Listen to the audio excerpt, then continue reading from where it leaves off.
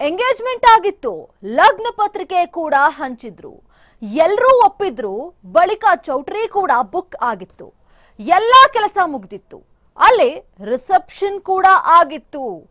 ರಾತ್ರಿ ಒಟ್ಟಿಗೆ ಊಟ ಕೂಡ ಮಾಡಿದ್ರು. ಖುಷ್ ಖುಷಿಯಾಗೇ ಇದ್ರು. ಅರಿಶಿಣ ಶಾಸ್ತ್ರ ಮುಗ್ದಿತ್ತು. ಬೆಳಿಗ್ಗೆ ಸ್ನಾನ ಕೂಡ ಆಗಿತ್ತು.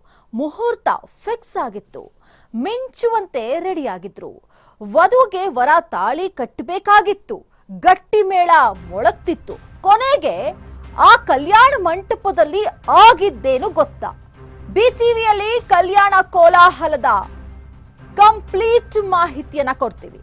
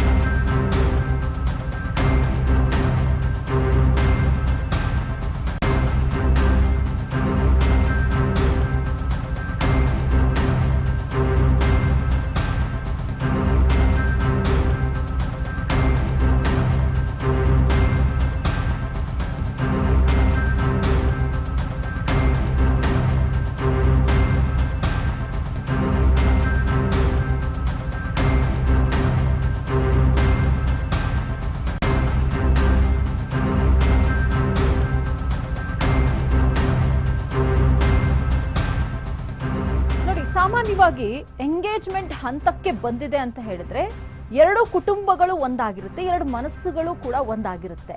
ಇನ್ನ ಲಗ್ನ ಪತ್ರಿಕೆ ಕೂಡ ಹಂಚಿದ್ದಾರೆ ಅಂತ ಅಂದ್ರೆ ಕಂಪ್ಲೀಟ್ ಇನ್ನೇನು ಮದುವೆ ಹಂತಕ್ಕೆ ಬಂದಿದೆ ಅಂತ ಅರ್ಥ. ಇಲ್ಲಾಗಿದ್ದು ಅದೇ ಕೂಡ. ಎಲ್ಲರೂ ಒಪ್ಕೊಂಡಿರ್ತಾರೆ, ಎರಡು ಕುಟುಂಬಗಳು ಒಂದಾಗಿರುತ್ತೆ. ಬಳಿಕ ಚೌಟ್ರಿ ಕೂಡ ಬುಕ್ ಆಗಿರುತ್ತೆ. ಇದೆಲ್ಲವೂ ಕೂಡ ಪ್ರೋಸೆಸ್ ಆಗಿರುತ್ತೆ. ಎಂಗೇಜ್ಮೆಂಟ್ ಆಗಿತ್ತು ಲಗ್ನ ಪತ್ರಿಕೆ ಹಂಚಿದ್ರು, ಅಲ್ಲಿ ರಿಸೆಪ್ಷನ್ ಕೂಡ ಆಗೋಗಿತ್ತು, ಎಲ್ಲಾ ಕೆಲಸ ಕಾರ್ಯಗಳು ಕೂಡ ನಡೆದಿತ್ತು. ರಾತ್ರಿ ಒಟ್ಟಿಗೆ ಕುತ್ಕೊಂಡು ಊಟವನ್ನ ಕೂಡ ಮಾಡಿರ್ತಾರೆ, ಖುಷಿ ಖುಷಿಯಾಗಿ ಇರ್ತಾರೆ, ಎಲ್ಲೂ ಕೂಡ ಅಸಮಾಧಾನ ತೋರ್ಸ್ಪಡಿಸೇ ಇರೋದಿಲ್ಲ. ಅರಿಶಿಣ ಶಾಸ್ತ್ರ ಮುಗ್ದಿರುತ್ತೆ, ಬೆಳಗ್ಗೆ ಎದ್ದು ಸ್ನಾನ ಮಾಡಿ ಮುಹೂರ್ತ ಫಿಕ್ಸ್ ಆಗಿರುತ್ತೆ, ಮುಹೂರ್ತಕ್ಕೆ ರೆಡಿ ಕೂಡ ಆಗಿರ್ತಾರೆ, ಮಿಂಚುವಂತೆ ಕಲರ್ಫುಲ್ ಆಗಿ ರೆಡಿ ಆಗಿರ್ತಾರೆ, ವಧು ಮತ್ತೆ ವರ ಇಬ್ರು ಕೂಡ. ಆದ್ರೆ ಆಗಿದ್ದೇನು, ಗಟ್ಟಿ ಮೇಳ ಮೊಳಗ್ಬೇಕಾಗಿತ್ತು, ಇನ್ನೇನು ತಾಲಿ ಕಟ್ಟಬೇಕು? ಆ ಕ್ಷಣದಲ್ಲಿ, ಆ ಕೊನೆಯ, ಆ ಕಲ್ಯಾಣ ಮಂಟಪದಲ್ಲಿ ಆಗಿದ್ದೇನು ಗೊತ್ತಾ? ನಮ್ಮ ಬಿ ಟಿವಿಯಲ್ಲಿ ಕಲ್ಯಾಣ ಕೋಲಾಹಲದ ಕಂಪ್ಲೀಟ್ ಮಾಹಿತಿಯನ್ನ ಕೊಡ್ತೀವಿ. ಯಾಕೆ ಅಂತಂದ್ರೆ ಚೌಟ್ರಿ